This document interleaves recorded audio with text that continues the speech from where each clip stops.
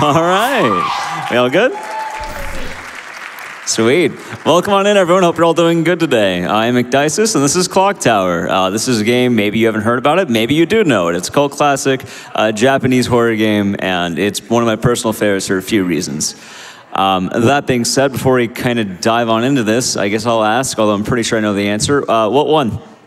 It was ending S, that one. Yes. I had a feeling. It looked like Yep. it was winning. We're going to be doing ending, uh, ending S.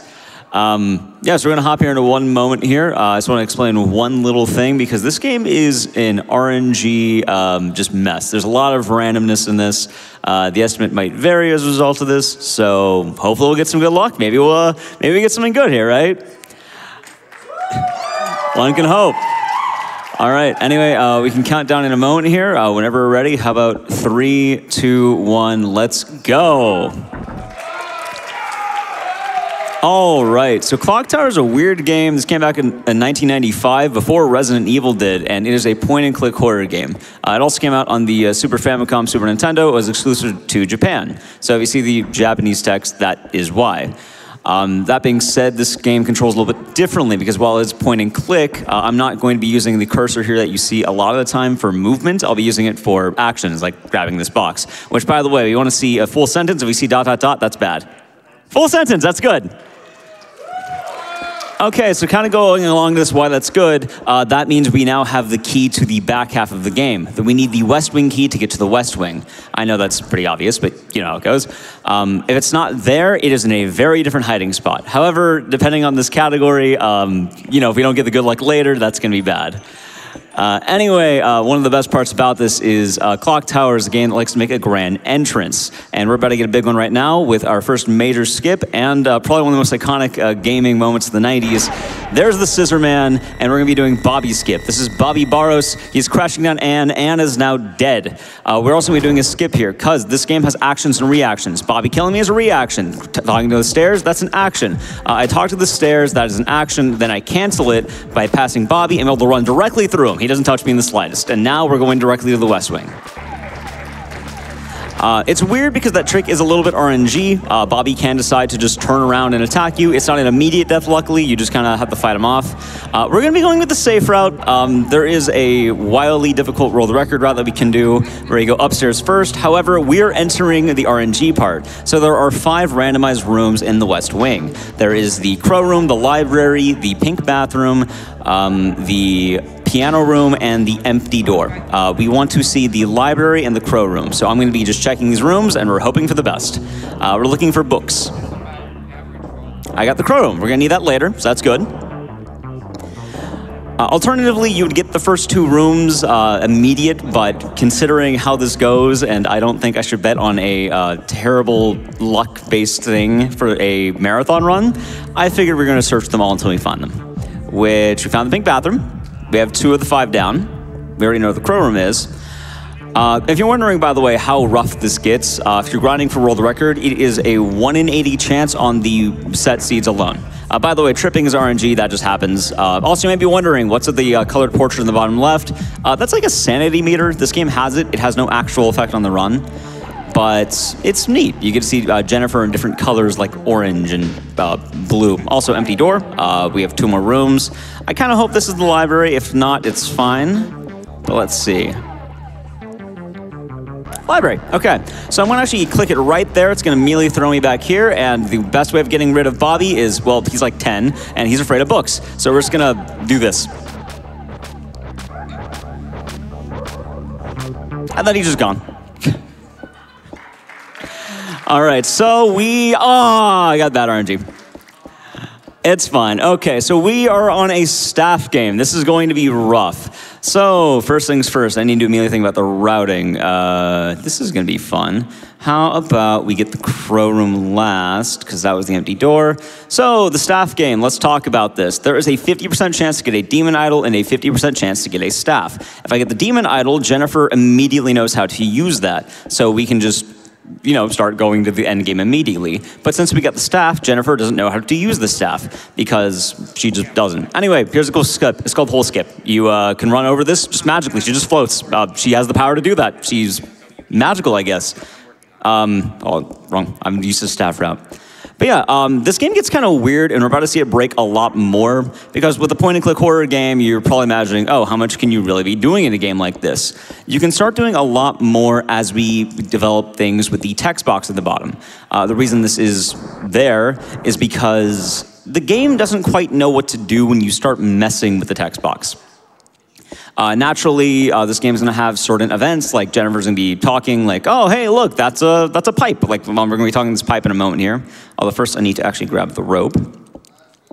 But you'll be seeing what I'm talking about because, while actions are dictated by the text. We can actually overwrite that immediately. So I'm actually going to grab this. I don't normally grab this because I would normally have an item by this point, but we want to do this first because we're already here.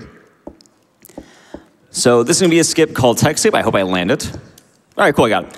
So the skip here is pretty easy. You activate the action menu and the item menu at the same time. Uh, you may notice now that the item menu is open while Jennifer is moving. That's not supposed to happen.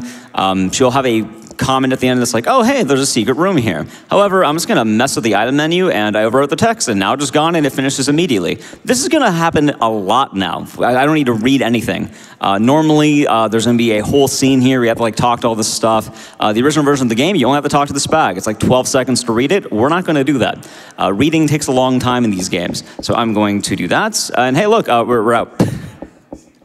nice and easy. Uh, and in case you're wondering what this is, by the way, uh, this is her dead dad. Uh, this is the truth of the game. Uh, in order to beat the game and get the S ending, you need a couple of parameters. One, you need the truth about the castle. You need to know what's going on here. So you find Jennifer's dead dad. There's a note that says, hey, they killed us. don't trust them. So we just ignored it entirely. We just like walked in there for a second, just stared at it as like, okay, I know everything now. Uh, the next one, we need to learn the truth about Bobby. This one's going to get a little bit more complicated, but it will be pretty easy. Also, we have a, the, uh, the whole skip once again, but now I can use the item text instead of the floor text. Uh, now that we have items, we're going to break the game a lot more, like I said. Uh, we're going to be starting to do a trick called lag reduction. Uh, the idea here is that this game has certain lag frames, which is kind of weird for a Super Nintendo game, I guess. But if I push the inventory button while going over those frames, Jennifer will start running faster. It's going to become a lot more apparent in the longer rooms. But it'll be something to keep an eye out for if you see me mashing the button.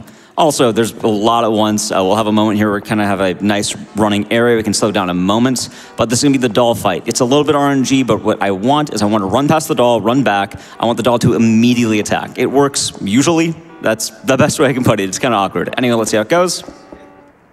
Nope. All right, we're gonna have to wait. Uh, hopefully not too long. Uh, I guess the doll really wants to be a part of GDQ here. Oh, there we go. Okay. Also, we're introduced to a new thing here. The doll just runs in the wall and dies. But uh, you notice the screen is flashing in the bottom left. Those are panic events. Panic events in this game are something where you need to mash the button enough times, or else you're not going to be able to succeed. You'll die. Uh, it's like a, oh, pass the test. Also, with the randomized rooms, this was the last one. Uh, this is the piano room, which has the staff behind this. We know it's going to be there because I know we don't have the demon idol. And there it is. We might also get a little fun scare here if Bobby wants to uh, be cheeky. Let's see if we get it. No, he just didn't show up. It's randomized scares. Kind of fun back in the day. All right, so we're going to be able to see the lag reduction in action here. You can kind of see Jennifer just run away. She just vanishes. She just runs really fast and doesn't want to be on camera anymore. And this will happen a lot more. Although I don't want to do it too much on longer stretches because sometimes there'll be a door I need to get to and it's like right here. But it's neat. Uh, anyway, right now, since I mentioned we did get the staff game, this is going to be a little bit more rough. Uh, I mentioned we don't know how to use the staff, so we're going to have to do some backtracking. Uh, this is luckily not too bad that we got on the second floor. But the backtracking is going to require us to get like two additional keys. This is going to be the gold key and the silver key. Uh, it also requires us to get insecticide because one of these is hidden behind a meat locker. There's a lot of fun lore in the Clock Tower series. Um, and a lot of this goes into, I guess, well, hold on. here. That was weird. okay, we got it. The hardest grab in the game, the pesticide. Yeah, we're gonna be able to use this to go into the meat locker, and we haven't really talked about the story of this game. And the best way I can describe the story of this game is, if you've ever watched the movie Phenomena, it's that. Uh, it's a Dario Argento movie, which uh, you, you could probably know Suspiria earlier with the ceiling crash. But to make it even simpler, if you haven't watched that movie, um, orphans are adopted and then they're killing them to eat them. It's cannibalism. That's the story. It's a horror game. It's about as horror as you get, right? so we don't want that to happen. Uh, anyway, uh, Jennifer's going to be taking the longest time on the stairs, so I think this is a good time for a couple of donations. All right, but before we get to donations, I am pleased to announce that we have passed $100,000 for AGDQ 2024. Thank you all so much. We have an anonymous $1,200 donation that says 100K hype.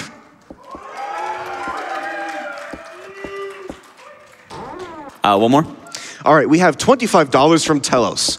To Ecdycis, your speed runs from the crypt is the best way to fall asleep. Keep it up and have a great clock tower run and save everyone. Cheers. All right, so we have the pesticide here. I did the text skip because there'll be some text afterward. Uh, by the way, there's all the, the meat from the other uh, orphans that they killed earlier. Back, back to the orphan thing. So we now we have the gold or silver key. This game's kind of weird too because there's some inventory that doesn't show up. Also, there, the, the ham is in here. If you ever want to get the ham, it's in this fridge. Uh, that's A ending. We don't need to do that in S ending because we don't go to the garage. Uh, but we will have to go to the two rooms here as well. I'm actually kind of hoping that we're not going to run into too many issues because Mary can spawn randomly. Uh, there's a random enemy. Luckily, we got the first floor, and oh, there's Mary. Uh, we're actually now scared of Mary because we know the truth about her. We know she's going to try to kill us. So if we stay in this room, she'll just stab us, which is bad. Uh, a ending, you would actually get poisoned here, uh, but luckily uh, we did the, you know, we did the proper stuff earlier, so she just comes straight at us. Uh, it's actually a fun enemy, but it's kind of weird because I think she can show up more than once. It's entirely RNG, so let's hope she doesn't. Also, I'll answer a quick question about uh, this. Probably never came up, but some people may have played Clock Tower casually. A lot of people ask, oh, "What does the phone ringing mean?" Like, there's a phone ringing. Oh, it's nothing. It, it literally just says "line dead" if you try it. So, if you hear the phone, nothing's there. All right, so now we have the key. It's weird because you have to get a key to get a key to get the answer for another key. It's, it's a series of getting keys, and we have them all now. So something I want to mention about uh, this game as a whole, and one of the biggest skips we're going to be coming up on, is a lot of you who may play this game are puzzle games. There's usually these end game items, and these end game items are like, oh, if you don't have the exact things, you might die, or you might not be able to pass a big puzzle. Uh, we're going to ignore that. Uh, we'll see in a bit, but we're going to be doing a skip that allows us to bypass the entirety of the end game like death puzzle, and it's going to be quite neat. Uh, by bringing it up now, because normally what that would require is you'd have to look all around the mansion, you'd have to find perfume, and you'd also have to find uh, a rope. Um, funny enough, I haven't grabbed those items in a long time, and we don't need them. Uh, we do need, though, is the ability to learn how to use the staff, which is right behind this. Uh, this is kind of the downside of the staff. You have to go all the way to this room, which all the backtracking we did, um, like I said, also another tech skip, all the backtracking we did could have been immediately rectified if we got the demon idol, but you don't always get it. It was pretty much a coin flip. We didn't win the coin flip. but luckily now, now we're back on track. We're now we're, we're caught up. so that's good. Uh, while we get back to the Chrome really quick, how about we get uh, two more donations? All right, we have $25, or sorry, $20 from EGP Noodles. AGDQ 2024 is already so hype, and I can't wait to see Clock Tower finally at a main event. Good luck with the run, Ecdycis. You got this. We have $25 from CC. Did you know that crows can recognize human faces? They also hold grudges. Good luck on the Clock Tower, Ek. Cheers. All right, so we're going to be heading back over to the crow room. We've done a lot. Um, the doll, by the way, I, I kind of glossed over what we were doing in that room. Uh, we had to get a special key to kind of get to the finale. Uh, the finale is like an underground cave, and you need to get a lot of the stuff. Also, Jennifer's going to be kind of like zooming off the camera again. Let's see here. It's kind of funny because it's actually a timing-based thing, but I don't know the timing because I have no idea how to be able to tell this timing. So it's faster just to mash it. All right, I believe the first room was the crow room earlier. We found that almost immediately. So once we're right here, uh, we can get the final parameter for S ending, and then we can go straight to the end of the game. Oh, hold on. There we go. Uh, we do the text hit once again. You're going to notice you're immediately going to get the item 7 to read text. And now we have to free the crow. Uh, the crow is one of the important factors of getting the good ending. Uh, the crows are very important. Funny if they're like both A ending and S ending, so the crows are always saved. Always save the animals, right? Yeah, so it should be. A, All right, so the crow is now free. And now we can head right to the end game. Uh, This is actually a nice room as well because uh, the well, some of the rooms are RNG. The rooms that are not are always the middle rooms in the West Wing. So I talked about this room being RNG. The next one is going to be the ceremony room. If you did everything right, there's going to be some dialogue where Jennifer's like, "Oh my God, I recognize this room," which we just saw like a painting of it. Which there it is. Which I feel like, you know, she probably could have just done this easily by just jamming the staff into a vase. Like, how many places can a staff go in this room, right? But, you know what, there it is. We, we're all good around the underground. So, let's talk about this end game skip, shall we? Now that we're in the underground, there is going to be a guard dog. Uh, the dog is an instant kill if you do not have the perfume and the robe. In case you're wondering what the hint is, you will see a mysterious figure walk past the dog. And you're supposed to try to match what that figure is as a bit of a disguise, which is this right here. Uh, first things first, I'm gonna uh, skip the dog barking or like growling, and then I'm gonna use this text box right here to run past the death trigger and run past the stopping point afterward. I'm now going to button mash uh, massively to get some uh, lag reduction here. In a moment, we're gonna get some text. Uh, we're gonna r- see our dead friend. We're immediately going to ignore her because talking to our dead friend takes time. Uh, you can see she's there. We're just immediately leaving. No, no time for sympathy. We're just gonna skip that. And hey, look, we're out of there. And now we're in the finale. So usually at this point, uh, I'd say um, the dog skip's one of the harder tricks in the game. It's weird because while it didn't look hard, uh, there's a lot that can go wrong in that skip. Uh, one thing is if you do it too early, you soft lock the game. You quite literally can't move anything. She won't move. Uh, you just are stuck there. Um, that's because they're expecting you to use items we don't have. We didn't grab any of them. We only have these two items right now, which you know, good for us. Uh, also, uh, uh, total segue. Um, here's the cradle under the stars. In case you're wondering, uh, this game is going to be more off the rails. Uh, here's a uh, well, cradle under the stars. It's a, giant baby.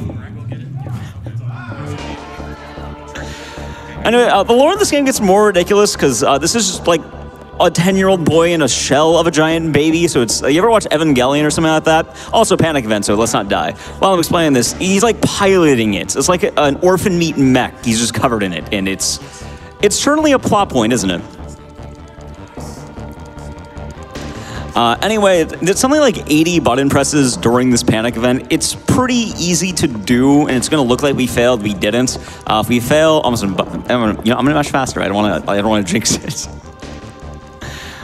But well, no, we did it right if she goes all the way up the hill. Um, bad would be slipping. Uh, in case you're wondering, uh, that little tin right there, that is a thing of kerosene. Oh, hey, look, uh, it's gone. It, it just, he's on fire. All right, this we're pretty much home free. Uh, time will be coming up at the end of the action sequence coming up. Uh, we'll have an elevator, we'll have a little segment with Bobby, and then we're pretty much home free at the clock tower. It's a pretty quick one uh, run. Uh, I do hope that you all enjoyed it so far. Uh, I still have to make sure I pick the right elevator. You know, you can choose it wrong and it goes bad. Um, as well, a lot of people do wonder, uh, oh, are, are the endings RNG or anything here? No, uh, you can get any ending you want uh, if you make the right decisions. Uh, a lot of them are just kind of based on a variety of factors of, oh, did you find out the truth about Mary? Did you find the truth about Bobby? And, you know, whether you did or you didn't. And this game has a lot of endings. It's like S through, um, I think it's like H, which is nine. There's like nine endings. All right, we have one more panic event, and then we're done. So we have to ride the elevator up. If we did it right, uh, we'll be leaving this elevator. If we did it wrong, we'll be dying in the elevator. So let's see.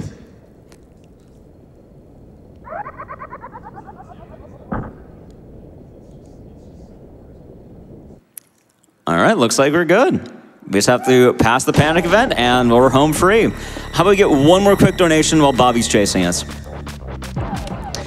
All right, we have $250 from Crow.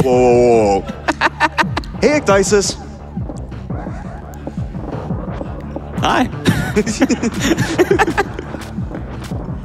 All right, so S ending. Uh, oh, by the way, in case you're wondering, uh, there's a whole thing that Lotte told us, her dead friend. She was like, oh, if you start the clock tower, Bobby will stop. And then he just like panics. He's freaking out because he has no concept of time. He doesn't like speedrunning, it's too fast. So now Bobby dies. He just fell off the cliff.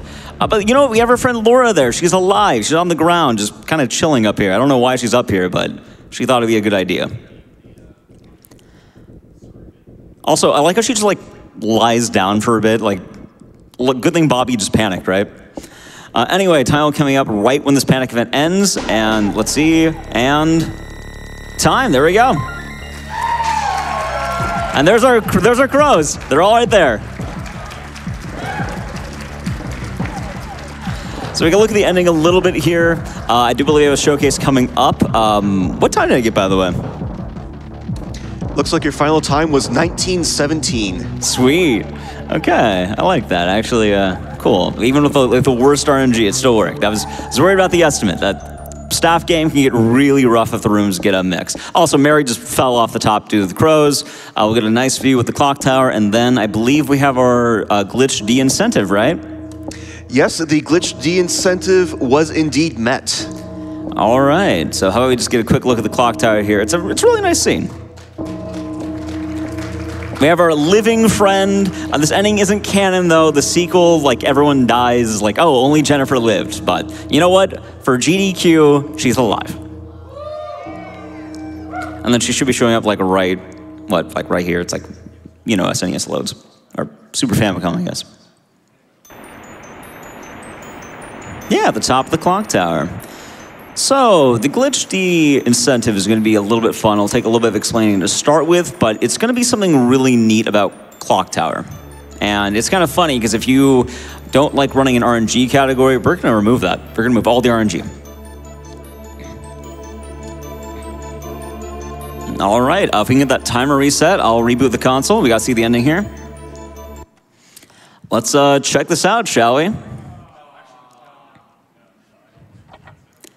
Okay, so before we begin, I want to go over something. Um, Clock Tower has an ending list. As you play this game, it will give you a bunch of, hey, you've cleared the game. It gives you S ending, which is actually hidden, and they'll give you A, B, C, D, E, F, G, and H. Now, in case you're wondering, a lot of people who get into speedrunning wonder, and this is a cult classic in the Clock Tower, there is an ending where if you've ever thought, hey, dummy, why don't you just get in the car and leave? There's an ending that does that. That's called the H ending. Uh, normally what would happen is you get Anne killed, and then you would immediately bolt to the car, and then you would die because, uh, you know, you left all your friends behind, which is bad. Don't do that. However, what's going to happen is traditionally the game doesn't want you removing any, you know, they don't want you avoiding friend deaths. There's always going to be a way of killing a friend, and the game's all the endings are actually tied to these friend deaths. Um, so throughout the game, you killed Anne last time. You can kill Laura. A lot always dies. She's not considered a friend for some reason. She's just there. But it's always Anne or Laura. And the three ways of killing them are going to be either in the bathroom, which you may have seen it uh, many casual plays, um, the, the sky ceiling, which that was there earlier, but there's also one more people don't talk about, and we'll get to that in one moment. Anyway, if we can count down, we're all ready, okay. Three, two, one, go. Okay, so this category has no RNG. What we're gonna be doing is going left immediately. There's gonna be a room here. This room right here um, has is actually a door, and it leads to a foyer. A lot of people do not know this. There's a rock right up here in this area.